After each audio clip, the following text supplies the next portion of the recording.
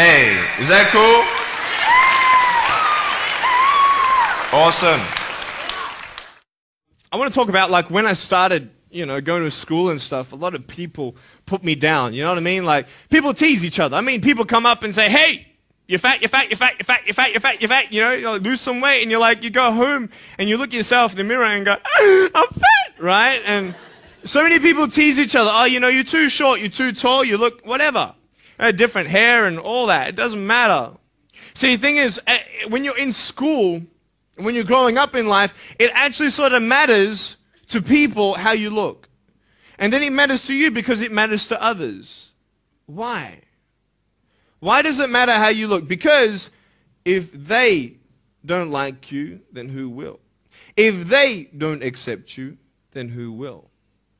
And the fear that we have is that we're going to be alone that we're not good enough. And, you know, we have to change ourselves. And, you know, so many people put me down and say, Nick, you look too weird and no one's really your friend and you can't do this and you can't do that. And I couldn't change anything. It's not like just fixing my hair one day and everything's fine. It's not like, you know, just whatever. I couldn't change my circumstance. I couldn't just one day wake up and say, hey, give me arms and legs. I need arms and legs. You know what I mean? Like, Oh, I went to a bodybuilder, you know, and said, Can you make me some arms and legs? No joking. bodybuilder, you get it? right? So this is the thing. You know, I go up to people, Can you give me a hand? You know, I'm just joking. but it was so hard because people put me down.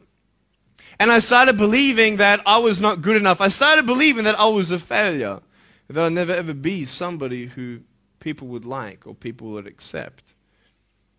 And it was so hard, man. I thought to myself, I, you know, I can't go on, the, go on the soccer field like everybody else, and I can't ride my bike, and I can't skateboard, and all these sort of things. And I started getting depressed.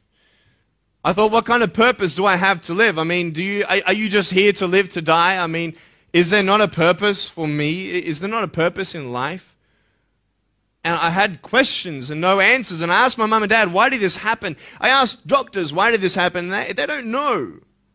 There are some things in life that are out of your control that you can't change and you've got to live with. The choice that we have, though, is either to give up or keep on going. I want to ask you, what are you going to believe? Are you going to believe in yourself? Are you going to believe everybody else's judgment on you? Are you going to believe people when they say that you're a failure? When no one really likes you, no one really cares about you. And it's not really to say that, hey, you need someone to come up and say, hey, really, I, I like you, I care about you. No, it's not that, but it's the fact that people put you down. People don't even look you in the eye. People ask you how you are, and you say fine, but you're not fine, and they'll, know, they'll never know that.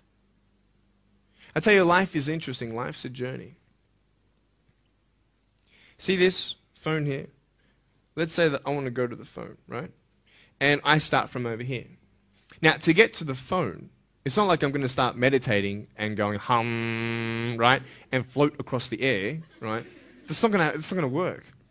It's not like I'm going to go hum and woo, you know. It's not going to work. So I have to take one step at a time, one step at a time, one step at a time. You can only take one step at a time. I don't care how big your step is. It's only one step at a time. You can't do two steps in one. You understand? So it's like one step at a time, and you take steps in this direction, you take steps in that direction, sort of get lost along the way, and sometimes you fall down. Now, to illustrate my point, I'm going to jump off the table, do a back twist, and land on the floor. Okay? Is that cool? are you ready? Oh, there's a clock there? Okay, can you move the clock for a second, please? Beautiful, beautiful. All right. You ready? So, uh, are you guys ready? Just let me know when you're ready. Are you ready? Okay, ready? One, two. I'm joking, man. Are you serious? Just put the clock back there. If I did that, I'll break my arm or something. You know what I mean? But honestly, along the way, you might fall down like this. Ready? Right? Hello! Right? So, what do you do when you fall down? Get back up. Everybody knows to get back up because if I start walking, I'm not going to get anywhere. But I tell you, there are some times in life where you fall down and you feel like you don't have the strength to get back up.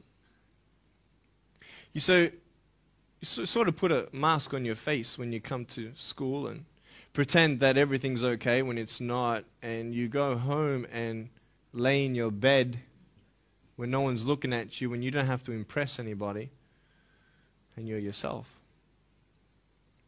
And fear comes in. You know the fear that you have as soon as you walk into the doors of your house. Maybe there's a broken home. Maybe you have doubt in your life. Maybe you don't know for sure what's going to be happening in the future and it scares you. Maybe, about, maybe you're worried about what people think of you, what people say about you. Just that fear paralyzes you. And I just want to ask you today do you think you have hope?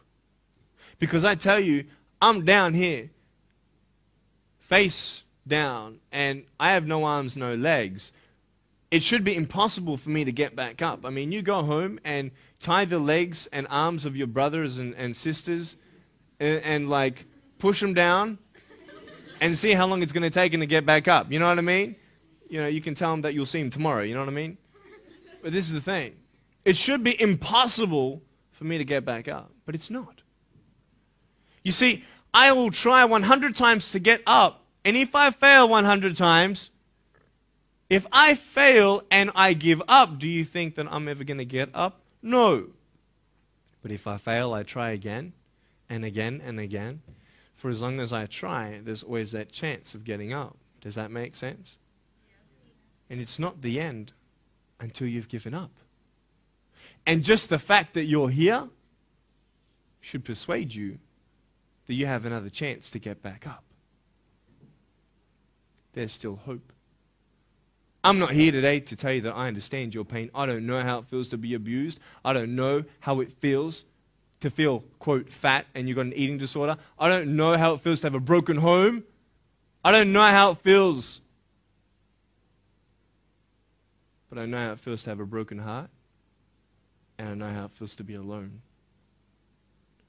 And I want you to know that I found my strength in Jesus Christ, and you're going to find your strength in whatever you find it in. But I just want you to know that it's not the end. It matters how you're going to finish. Are you going to finish strong? And you will find that strength to get back up like this.